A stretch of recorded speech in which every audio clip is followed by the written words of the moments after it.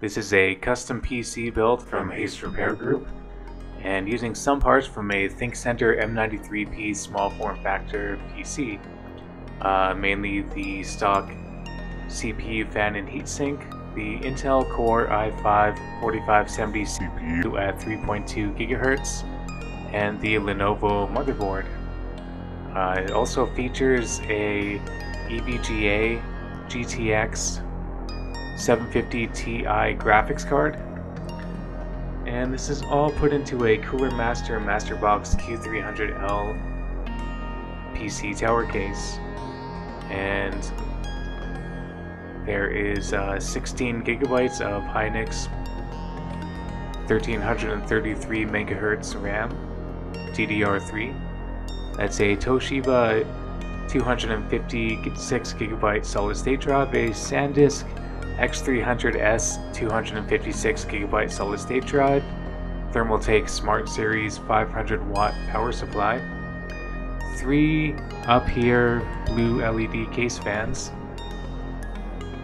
and some uh, blue SATA cables too to match.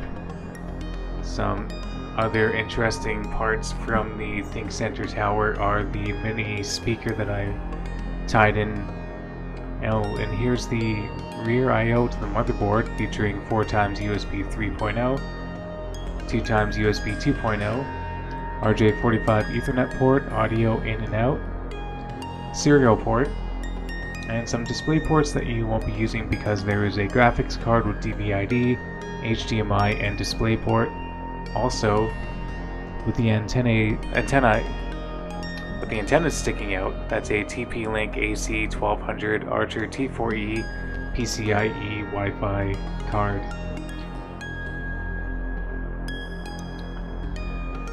So this is just one thing that you can do using a refurbished Office PC and a mixture of used and new hardware. It's a pretty nice looking PC. So I tested some benchmarks and this is the Heaven benchmark.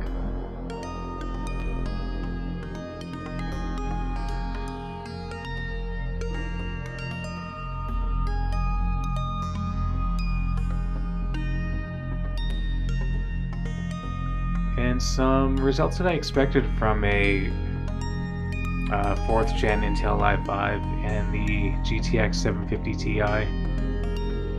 This is a solid mid-range budget gaming PC.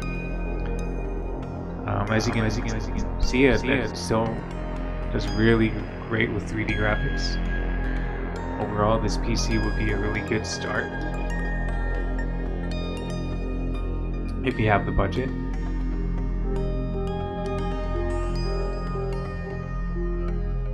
This all came to roughly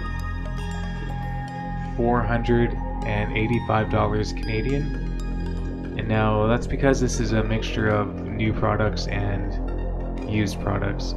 So you could go up or you could go down. Anyway, if you have any questions, feel free to leave them in the comments. Thanks for watching.